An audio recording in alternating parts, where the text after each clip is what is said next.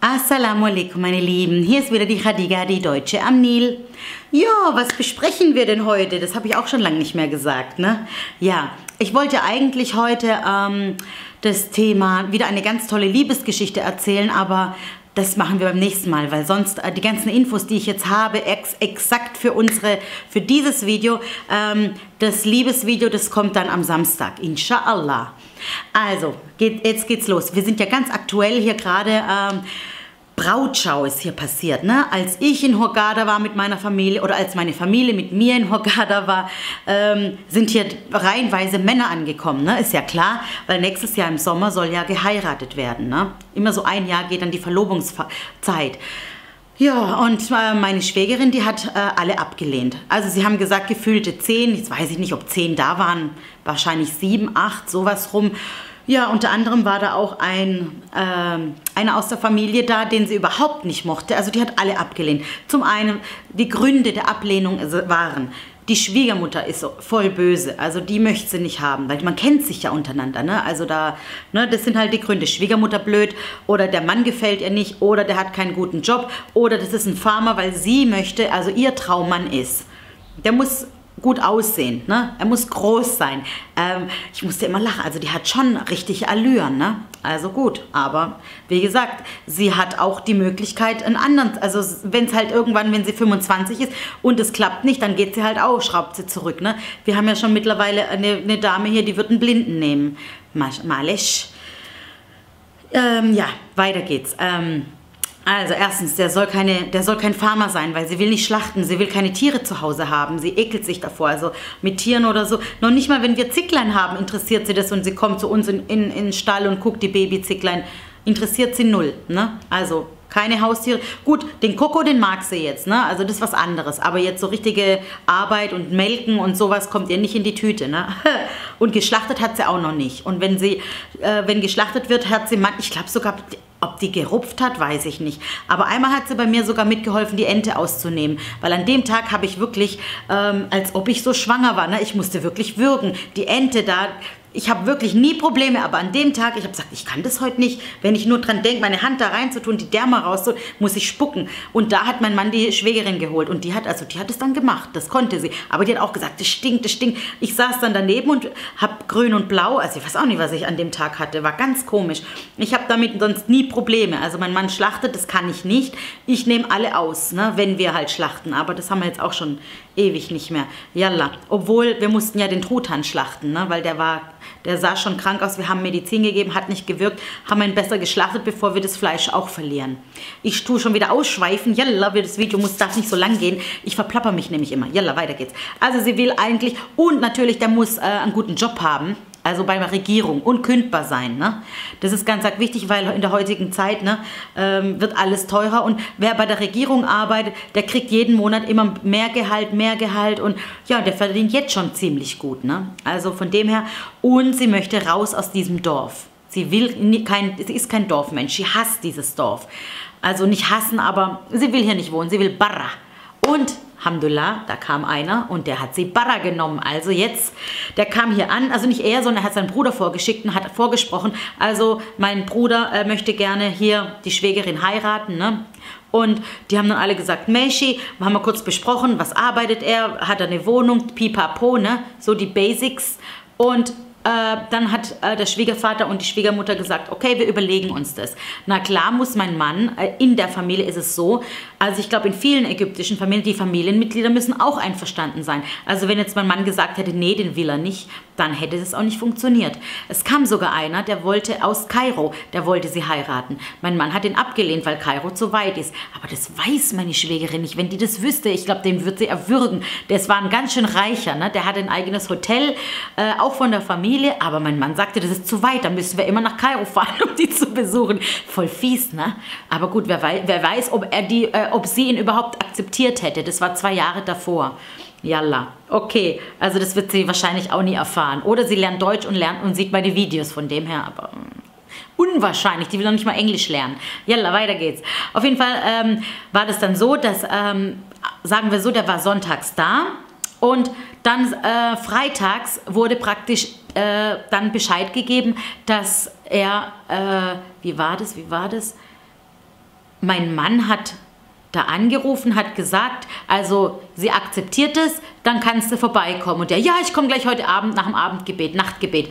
Ne? Und ich wusste dann, die Familie kommt, habe mich dann auch ein bisschen ne, schick gemacht und habe mich dann hingesetzt und wart und wart bei der Familie. Da kommt Sau. Ne?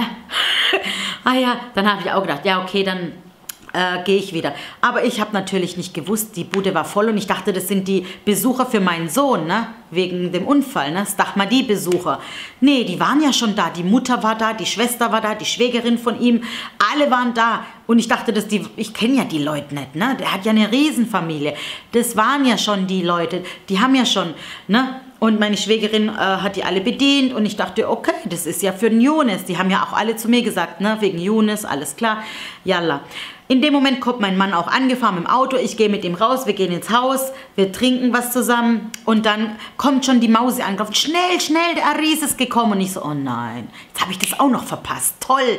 Aber ich habe natürlich die Mausi. Und wie war's, wie war's? Ja, der hat, der, der hat, der, ähm, der hat sie dann begrüßt und sie hat so ein bisschen schüchtern runtergeguckt fertig. Ne? Aber bevor dieser Besuch überhaupt kam, dann habe ich auch gesagt, ja, zu meiner Schwägerin, und bist du aufgeregt, wenn der kommt? Wirst du knallrot? Was ist das? Wirst du dich super anziehen? Guckt ihr mich an, la! Wie la? Ey, ich, wär, ich bin voll aufgeregt, ne? Die, die, Kleine, die ist jetzt 21.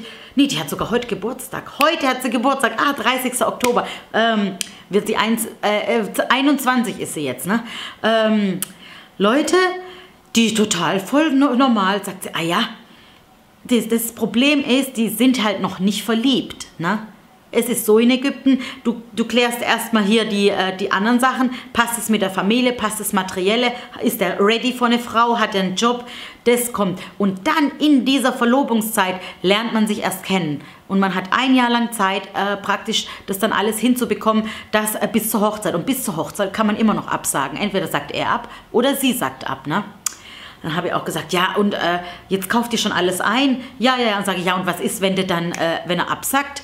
Dann guckt die mich an. Der sagt nicht ab. Die ist total überzeugt von sich, ne? Habe ich auch gesagt, also sei mal nicht so arrogant. Vielleicht mag er dich ja gar nicht, ne? Äh, nee, wenn, dann sag ich ab, dann lacht sie so. Also da ist noch keine Liebe da. Der Typ ist ein bisschen schüchtern. Er findet die natürlich wunderschön. Die Männer sind da anders. Die gucken nach schönen Frauen. Die Frauen ähm, hier, die gucken nach Sicherheit, muss man klar sagen. Und natürlich muss das Gesicht ein bisschen stimmen. Also sie können jetzt auch nicht äh, er sieht aber sogar auch wie sie aus, muss man sagen, nur als Mann. Da könnte Bruder, Schwester sein. Der ist auch groß, dünn wie sie. Also er ist richtig tschick, tschick, macht der Ägypter ganz dünn. Ähm, Akku leer. Jetzt muss ich kurz den Akku wechseln. Sorry, Leute. Passiert. So, jetzt Malesch. Also, wo waren wir stehen geblieben? Die Schwägerin also, ähm, die ist überhaupt nicht aufgeregt, gar nichts, ne? Also sagt sie zumindest vielleicht. Also, aber weißt du, die guckt den ganzen Tag Bollywood-Filme, so Drama und da geht es ja nur um Liebe. Und jetzt ist sie selber, die kommt total kalt drüber. Ganz komisch, ne? Ganz komisch.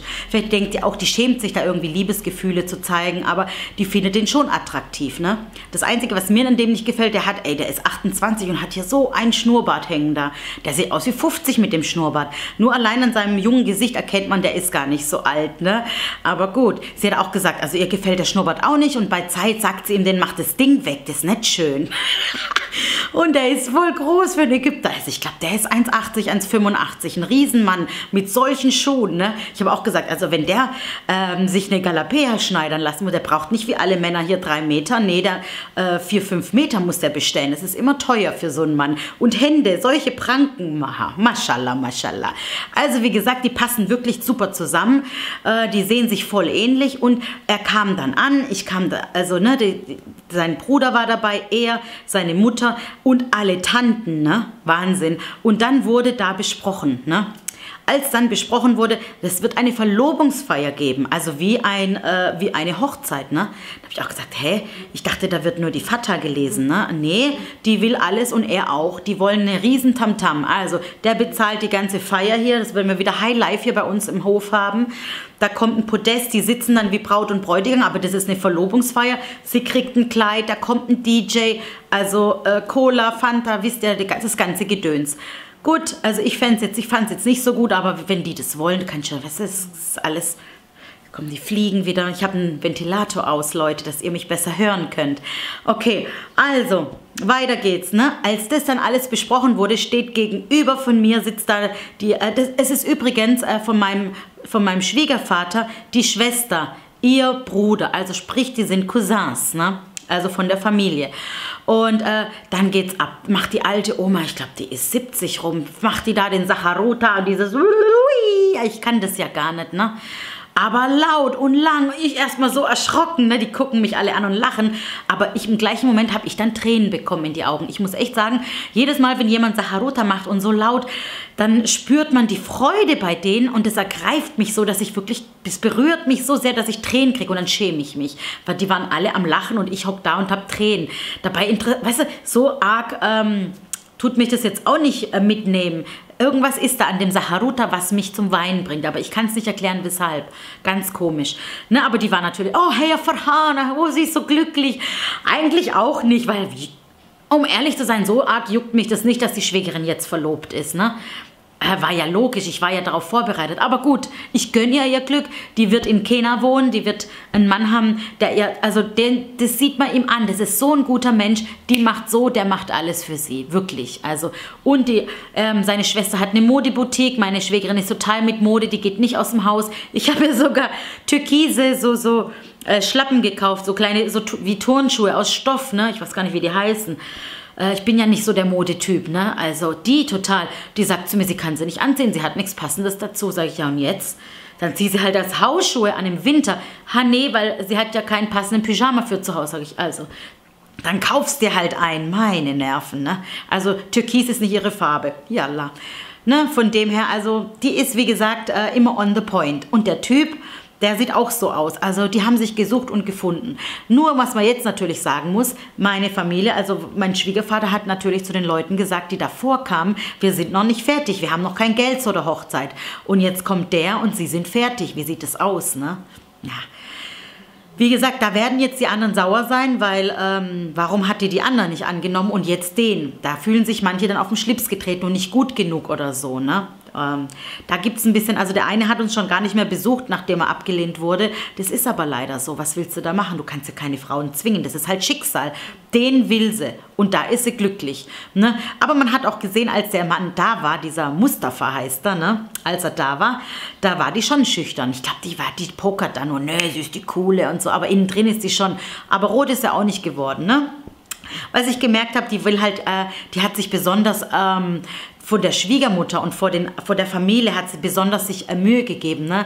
und ähm, hat extrem nett sich gezeigt. Ne? Die ist nicht so locker und ach, alles Mist, egal und so. Nein, natürlich total höflich von der besten Seite zeigen. Und meine Schwiegermutter dasselbe, als ob die neu wären. Die kennen ja die Familie. Aber das fand ich gut und es war, ja, das ist die Brautscheu in Ägypten.